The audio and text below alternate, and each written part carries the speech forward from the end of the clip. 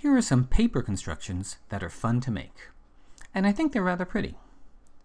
There are seven different designs here that you can try building. Each is made from one kind of regular polygon with slots on them for assembly. The first one is made from 20 equilateral triangles of five different colors. To understand the underlying mathematics, start with the regular icosahedron. It consists of 20 triangles, 5 at each vertex. Then rotate each triangle 60 degrees, so instead of meeting edge to edge, they overlap through each other. Notice how just above the center of each triangle, three vertices of the neighboring three triangles meet at a point. And the edges outline lovely stars around each of the 12 openings. So the triangle template has three slots going halfway across the line of intersection, which is what allows the physical paper to pass through its neighboring triangles. To assemble this, we cut out 20 triangles with the slots.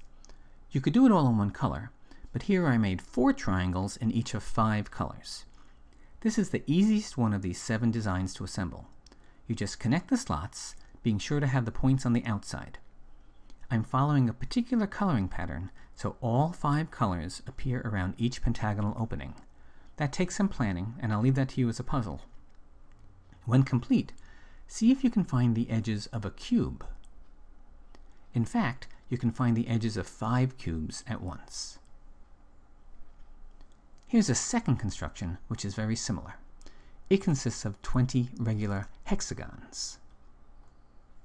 You can also understand it by starting with a regular icosahedron, but now we expand and adjust each triangular face to have six vertices instead of three, arranged as a regular hexagon. They pass through each other and can be scaled and oriented so their vertices meet and their edges outline small stars. The hexagon template also has slots halfway across the line of intersection, allowing them to pass through each other. You can assemble it with five colors, so all five colors appear around each star in a different cyclic order. This third construction is made from 12 decagons, that's regular 10-sided polygons. To understand it mathematically, just start with the regular dodecahedron, which consists of 12 pentagons. Then expand and adjust the pentagons until there are 10 vertices instead of 5, arranged as a regular decagon. Again, they pass through each other and can be positioned and scaled so the vertices meet. The decagon template has five slots, again to allow the physical paper to pass through its neighbors. It's trickier to assemble. I'm using six colors for this one, so opposite faces can be the same color, and each face is surrounded by five other colors. After you slide two pieces together, you also have to slide in a third piece which joins in the same way with each of the first two. When you get the overlap right, there's a small three-colored triangle in the center of the three-way connection. You want to be sure you have that little triangle at every three-way connection. When complete, this is an extremely solid ball with no glue or tape required to hold it together. This next one is made of 30 squares. There are five colors, arranged so all five appear around each star. Again, there are small triangles where the parts overlap each other at the three-way intersections. It's very important to assemble those little triangles correctly, as they keep everything from falling apart. This one is derived from the rhombic triacontahedron. That's a polyhedron consisting of 30 rhombi. In the plane of each rhombus, we can modify the shape of the quadrilateral to be square, positioned to outline stars around the openings. So the template has four slots in each square. You'll need five sets of six, one in each of five colors. The remaining three constructions are all based on the dodecahedron made with six colors. Opposite faces are the same color. This one's built from overlapping pentagons.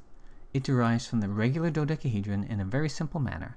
Just make the faces larger, without even rotating them, until they meet at their vertices to make large stars. So the template is just what you might expect. A bit trickier is this design made of decagrams, 10-sided stars. But it's derived in a similar way, starting with the dodecahedron, modifying the shape of all the faces, staying in the same 12 planes.